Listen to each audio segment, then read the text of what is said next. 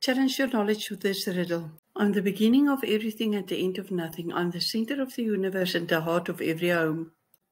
Share your answer in the comments below.